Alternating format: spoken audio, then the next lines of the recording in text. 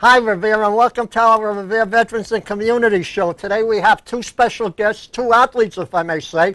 One is Mr. David Valdez, a three-year veteran of the LA Dodgers and a three-year veteran of the Seattle Mariners. Is that correct? Correct. Thank you for coming on the show. And then we have a future All-Star ball player. His name is Jack Wallace. He's three years with the New England Defenders, plays third base, and I believe you're 15 years old. Yep. By the time we get through here, you look like 90. but anyway, thank you for coming on the show, Jack.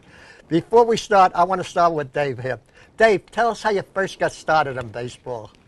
Well, that was a long time ago, 1992. I started my baseball career, and I get drafted by the Seattle Mariners mm, with David Ortiz and all those guys. We played together. You played with David Ortiz, the Yes. Big Papi. With the Big Papi, we played together. Me as a third base, him as a first base. Right. That was 1992. Then we played together for three years in Seattle. Then I moved to the LA Dodgers, and I play over there with Adrian Beltre and all those guys too. That's good because I want to talk to you about the Dodgers because I come from Brooklyn when they were called the Brooklyn Dodgers.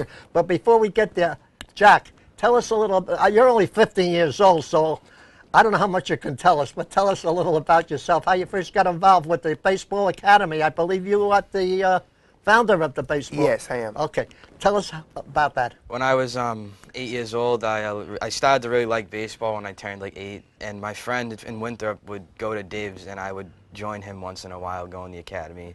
And then after a long, uh, like two years, I started going regularly. And what did they teach you at the academy? Because that's good for all young kids. He taught me how to how to play baseball and also how to be a good person in the game of baseball and out of baseball. right? Now you brought a bat and glove. You got it with you? Yeah, that's right. Show the kids the pro- without hitting me, because I know that. Show the kids the good position, how it would be like to. Should I do? It? Yep. Show the kids what it's like to. I want to hold it like Right? I hold it like a little lower, but Yep. And that's where you learn at the academy, right? Yep. Yep. And what's your batting average, if I may say so? I, what, I don't know what it is. About 330. Probably Okay, that's close enough. 800. a little better than that. Okay, we'll give you 340. then. Go ahead. Show us how. Don't belt me, know.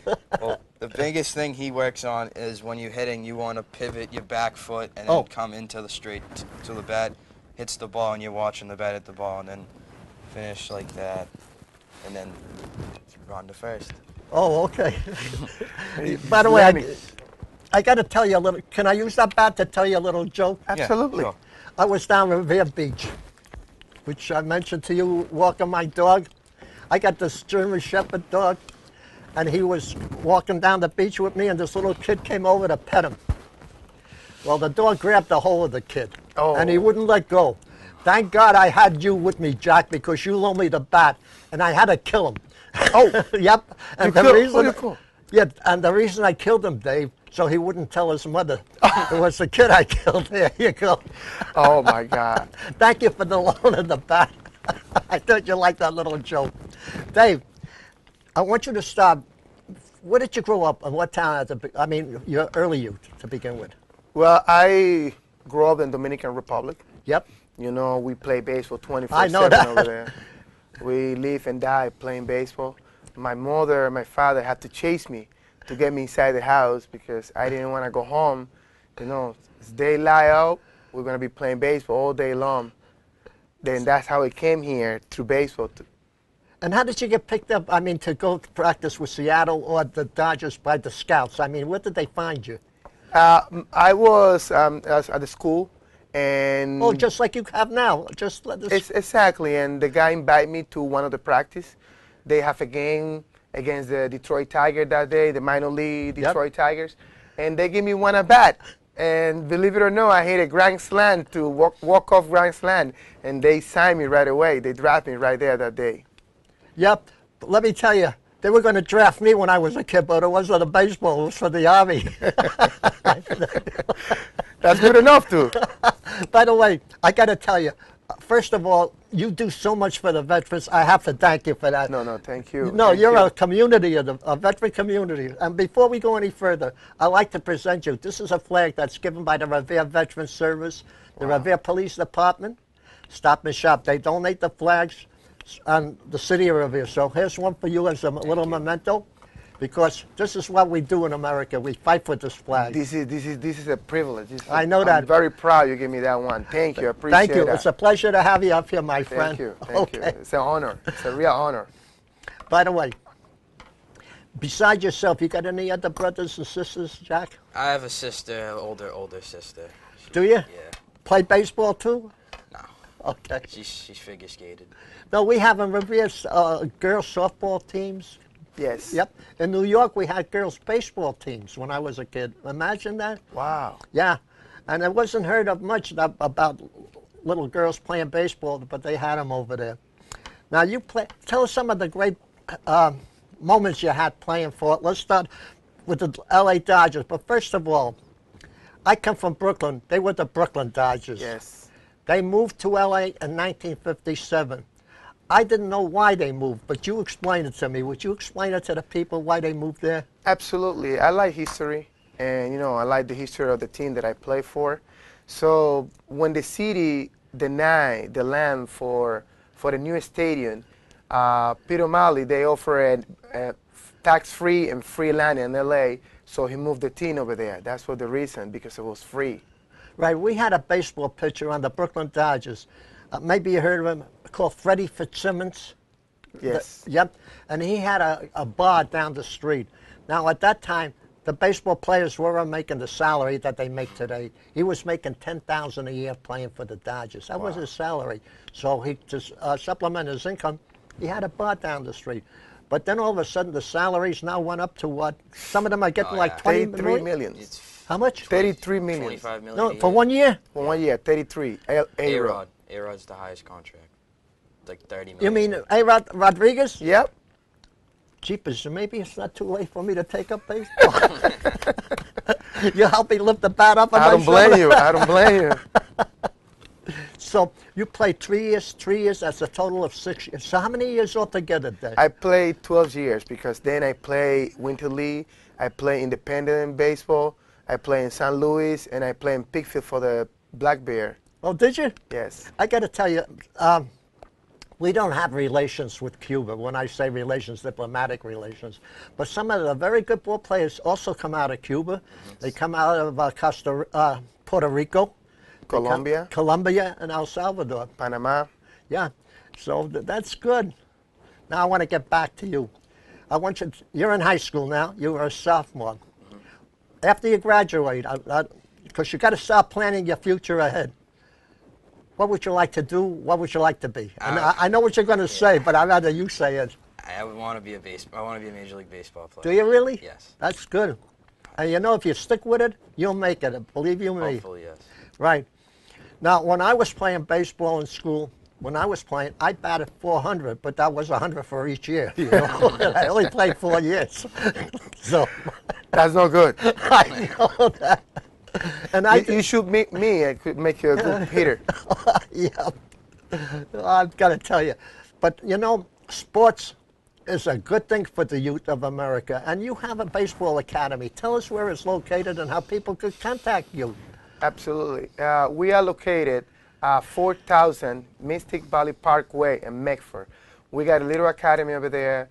Uh, we take the kids from they were seven years old all the way to 17, and we work. We train them not only as to be a baseball player, if not to be a human being, to have sense of humor, to respect the game, respect the fans, respect your parents, and that's why we are so successful. For the last three years, we've been ending the best team in New England. Have you? Congratulations Yes. again. Thank you, sir. Thank you. And you too, Jack. Congratulations. Jack has been very a very good part of that Has he? Yes. Right. By the way, so it's from seven years. That's the youngest you can go on to the Yes. team. Mm-hmm. To 17. Yes. Could you make one exception? It depends who. Could you take an 85 year old up there? You're welcome. You're welcome. that would be good. Because I'll tell you why. Sport is good. I mean, we have a gentleman here Revere. you might have heard of him, Mickey Casoli. He says no to drugs. And, you know, kids do have a drug problem. They never had it when I was a kid. We didn't have that kind of problem that they have today. There. And I'm sure you, you, the Academy does a lot to teach the Absolutely, absolutely. You got to get it young. You know, it's like my good friend Jeremiah, you know, Goodwin. He's, Yep, yep. he's coming for the, you know, sheriff department. Yep. And he always said to me, David, uh, I need the kid younger to teach baseball and sport so they don't end it, you know, in a, in a system. Right. That's, that's, that's, that's my commitment to, to try to get the kid and teaching, you know, good manners, uh, love for sports, and far away from drugs, gang, and all kind of bad thing. Right. Yep. Because I'll tell you, when I was a kid, after school, uh, New- I, I- like I said, I come from Brooklyn. School ended. We went started school in the morning at nine. We went to three thirty. That was our hours at that time. And if you wanted to go to the gym after school, we have what they call gym class. You could go in there, play basketball, or play ping pong, or whatever you wanted to entertain yourself with up there. And they would do that till about seven o'clock at night that Yeah, they were open. So we that was good. It kept us off the street of doing bad things. Right. Now I got to put you on the spot. Now I'm gonna. How about your academic grades, Jack? Are they pretty good? Yeah, they're pretty, they're pretty good. You're a history buff. I know that. I, I like, yeah, that's my favorite subject. History Yes. is it uh, But just he's no better than me. Is he really? No, no better than me in history. Are you really? I got to tell you, I went to a high school. They honored the veterans on Veterans Day, Memorial Day that went by recently. And I asked a kid, "Do you remember?" Fra-" Now the kid was 17 years old, so I says, "You remember Franklin Delano Roosevelt?" And he says, he looked at me like funny. He says, "No, I don't." I says, well, he was a president of the United States, and I says after him there was like Truman, there was like Kennedy and Eisenhower. Eisenhower, Eisenhower. and Lyndon after Johnson. Eisenhower, Johnson, Lyndon Johnson. and Kennedy. then Kennedy, right? And then there was Clinton, and I says, do you know all Carter. these presidents? And he said, no. I says, yeah, but when I was a young kid, I knew all my presidents. And you know what the kid said to me? He says, when you were a young kid, there were only four. so I Hey, wow, you got a point. so I thought that was a good answer. So bit- history is very good because if you learn history, you're bound not to repeat it, and that is a good exactly. thing. That- oh my God, unbelievable. By the way, after you graduate high school, and what high school do you go to? Uh, Winthrop High School, Winthrop High School. And what college would you like to go to? uh, University of South Carolina. That's where my granddaughter went, believe it or not. University of South Carolina. She went there, and she got hit by a car there, too. no, and she's an invalid now and for the rest of her life.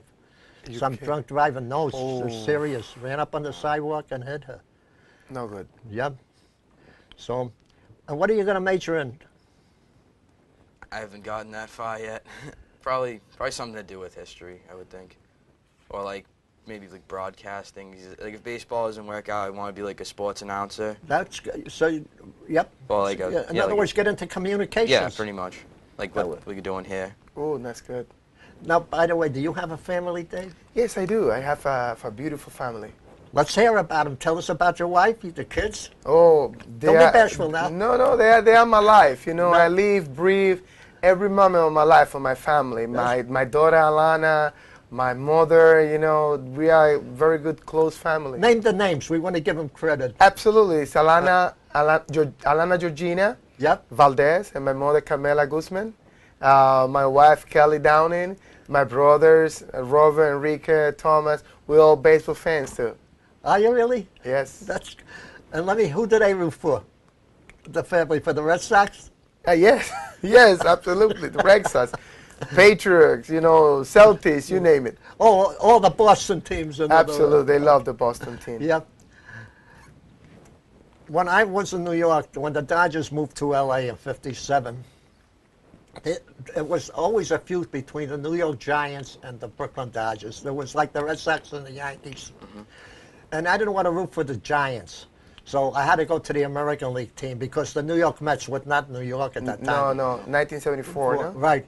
So I rooted for the Yankees, and uh, I've been a Yankee fan all my life. I hope the people in Boston don't hold that against me. so, Well, I, I got you a little question right here. Do you know when the Giant moved to San Francisco? What was the owner? What was the only thing that they asked the team, and be able to sell it to them? Uh, I'm trying to think, but I really don't remember it. The colors. what was his name? The colors, Oh. the color of the uniform, that, that should be the same color as the New York Giants. Oh. That's why the, the San Francisco Giants have the same color from that time. Right, but I got to tell you this. Uh, uh, they're in Candlestick Park. If Yeah. I- Yep. And the Dodgers are in Chev- Chev- Chavez Ravine. Chavez. Chavez Ravine. I'll get that name correct there. Because, you know, we don't get much of the National League because we're an American League team over here. So when I watch baseball, like if the Red Sox ain't playing, they'll usually show an American League ball team like the Yankees or the Baltimore. Tigers. Baltimore. By the way, talking about Baltimore, Baltimore's doing pretty good, too. Yeah. My very good friend Dan Duquette, he's doing a pretty good job right now. Yeah. By the way, did you ever meet Cal Ripken? Uh, we haven't met in person. Oh. We've been talked because yeah. you know they, he asked me if I want to bring my defenders to his, His national championship. I got to tell you about the Brooklyn Dodgers. I think it was 1947. The first African American ball player was Jackie Robinson. Yes. There were two players on the Dodgers. One was maybe you heard of him. Pee Wee Reese was the Pee Wee short- Reese, The captain. and Pete Reese at the center fielder. Ring Yeah. a bell? Yep. Pee Wee Reese was pretty good about Jackie coming on the team. Pete Reese wasn't so good. And Branch Rickey, I believe, was the, owner owner, of the yep. Dodgers at the time. Yeah. Mm-hmm. And he called them into their office. And he said to them, any problems, talking to both Pee Wee Reese and Pee Reese, any problems that you're going to have with Jackie Robinson, Jackie Robinson will be here, but you won't. And that, that quieted him right down there. So it was Branch Rickey that really did that. And after that, we got some great. The one I liked was Willie Mays of the New York Giants. Absolutely. There was a terrific ball player. Well, my favorite black player from that time is Satchel Paige. He's Yeah. my hero. Oh, too bad he could Yeah, never, ma- never- break into the majors at his young age. He I was know, with the 54, Negro League. Not in yeah, his prime. yeah, yeah. I know his prime, but he did pretty good too. He did pretty good as a 48 year old. Right. And by the way, since you're a history buff, help me on this one. Now, people have asked me to ask a question. Uh, nobody remembers it. There used to be a one-handed pitcher that came out of the Second World War. He, he would throw the ball, put the glove under his arm, and he only had one arm. And I'm trying to think. Do you remember? Well, I know. remember the the last one, uh, Jim Abbott. Yeah, Jim Abbott. I don't remember the first one. I know there was a hitter uh, for the Cardinals Yeah, in the the hitter. minor league that was one that I handed. didn't know that He was, either. name was like Pete. His name was Pete Gray. oh, yes, that ring a He was a one-handed hitter in like the minor leagues, but never Yeah, made the majors. right. But some I've never heard of the pitcher. But Jim Abbott was the, f- the last one that I remember. Right now, s- let me ask you: uh, the people that play in the minor leagues. This, tell me something about the different types of minors. Like what they mean by Class A, Class B, Triple A, Triple B. What do they really mean by that? Because- Well, uh, rookie league is when you get just drafted. They take you from high school, or they pick you on college draft, or they sign you as a free agent. They put you in the rookie ball because this would that's going to be your first step. And then they, they, if you do good, you move to single A. That's a little better baseball. You don't play that many games during the Is there a difference between salary, let's say between, Uh-huh. I'm, I'm not talking majors now. I'm talking, let's say like the Montreal, Brooklyn Dodger Yeah. farm team. The Down Montreal lower than that. Is there quite a difference in salaries between the lower, like let's say Triple A and minor league? all the way to, to double A. You only make like a thousand dollars a month. A month? Yes. And you got to pay for everything. So at the end of the season, you you you're penniless when you play minor league. It's Oh. no money involved. Oh, so like the Red Sox farm team, like Pawtucket, they only get a, No, Pawtucket, Triple A. you play for contract now. Oh. Double A and under, you they pay your salary. Oh, so I you see. make like a thousand, twelve hundred dollars. and you got to pay your own expenses? You got to pay your rent. You got to pay your own spend, or move to a host family. And if you're in the major leagues, if I can ask you that, like when you travel out, let's say you, uh, L.A. Dodgers, and you're coming to play the Giants in New York, let's say if they were there, not San Francisco, but New York, do they pay for your hotel and your travel, or you got to do that yourself? They will pay for everything. Well, Even your meals? when you make it to the major league, you are all set. They pay you for the meal, they pay for the flight, they pay for the hotel. Well, the host team pay for everything. I, right. And you know, when we used to go to the bleachers at Ebbets Field, guess how much the tickets was at that time? Ten cents. A dollar. No, a dollar we had to grandstand seats. Yeah, 50 cents. 10 cents a month. Excuse me. I think it was 15 or 20 cents at that time. Wow. Yep, Oh, that would be great now. yep. Postage was two cents a stamp. Yep. I'm talking about my age, not your age. Okay, when you grew when you grew up, things were a little bit more expensive, but they were a lot. A, even though they were more expensive, they were better though. Yeah, yeah. Right. Like when I was, we didn't have television. Uh, f- television first came out around 45, 46 at the beginning. We had a little round screen. Not we, Black my, my neighbor used to have that. So we kids would sneak up on, at night Through the window. uh, uh, through the window, and he would get teed off at us, and he would yell at us to get the hell out of his yard or get. All we wanted to do was to watch the TV in there. And those days, the mailman, uh, the mailman, the milkman would come on a horse and buggy. He'd drop the milk off in the morning and leave it at your door. You open up the door and the milk was there. Today, Nope. Nope, cannot you have to buy it yourself. Uh, yeah, today I don't think if they left something in front of your door, by Steal the it. time that he went away, the milk would go That's away true. too. That's true. right? That's a shame. It's a I real know that. I know that some times have changed. I want you to tell me one other thing. You haven't decided what you want to do yet. You would, except to go into communications. Did you ever stop to think to take up like a, a technical course, like an engineering course, or a, I haven't really thought about like that yet, but it wouldn't be that bad a thing because I like to see, I like to build things, and it doesn't seem like that bad of a thing. you like to do construction? A little, yeah. That's good. I used to be a draftsman when I was working. You know, we didn't have com- computers like you have today. You can plug every. Uh, by the way, I don't. I don't know anything about computers. I'm about a dummy dummy when it comes to computers, but I'm sure you do. And how did you learn, if I may ask you, when you first started with them? They, I don't know how to work. they actually they actually taught us in school. When I was like in elementary school, we had a computer class. At what year did you first start with a computer? I'm just out of nosiness. I was like six, six. They taught you at the beginning. Uh, a sixth. Yeah, that would put you about the first, second grade. Yeah, first grade we had a computer class, and second grade and all the way up through high school. I got to tell you, when I went to school, I looked at my report card one time, and I looked there, and there was a big F there. So I got a little mad. I went up to the teacher and I said, "Teacher, why did you give me an F?" She said, "Morris, that's the lowest mark I could give you." He can go any lower. no, that was for English, by the way. Oh. That was my, believe it or not, that was my worst subject in school was English. As the people could tell the way I talked. St- speak good. By the way, what would you like to see for the future for the kids at your academy? Because that's what we want. Oh, before we talk about your academy, you do a lot for the Army veterans, and uh, we forgot to mention that. You are a real community veteran, and you will be a real community veteran. Tell us about the Army things you do, because we'd love to hear about that. Absolutely. My good friend, uh, Lieutenant Avery, he approached me with the white, red, and blue tour. Uh, if, you, if you remember, in 1990, Mr. George Bush Sr. was the one who introduced that, hey, we want baseball for the, for the military too. Right. So we started with the tour in 1990. Um, the last 10 years, I've been training the army. I've been going to the to the games. We've been playing tournament. We go everywhere around the world, and we show that the army is not all about war. We can do baseball too. Tell us some of the trips you took around the world. Let us have it. Oh my God! Uh, Don't be bashful. Oh, Nah. Dominican Republic, Panama, Nicaragua, uh, here in United States, all over the states. Europe too, Yes. and uh, Africa. Oh no no, ha- we haven't been to to Europe. I don't remember. Maybe they, they go. I only go with them in the summertime. In the Middle East. Maybe I don't. I guess, I guess so, but I'm not sure about Oh, that. okay. They've been going over there to play baseball. There's no baseball over there. There isn't. No. No, I've been to the Middle East, Michigan.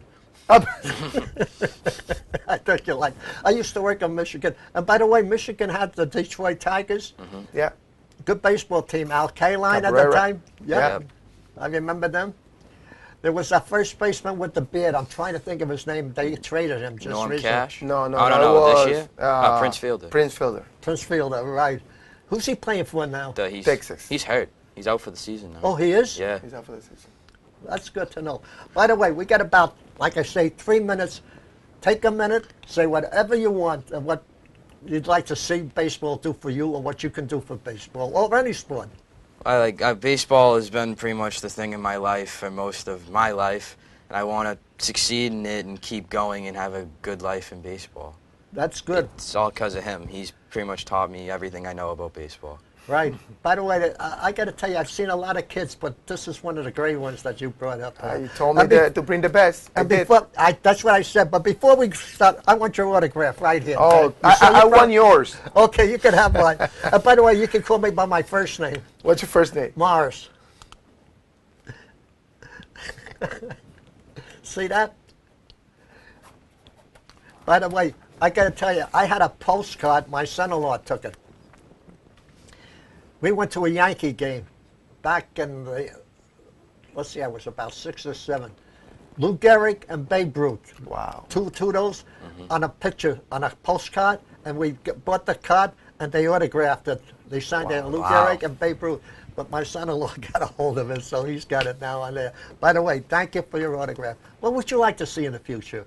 Well, my vision for the future is, you know, to help the countries, to help the little kid to improve, to get more knowledge about history, about, you know, how to be a very good citizen so we, ha- we are safe, our community is safe. We don't have to have all this gang and all this drug problem. Uh, through baseball or through academically.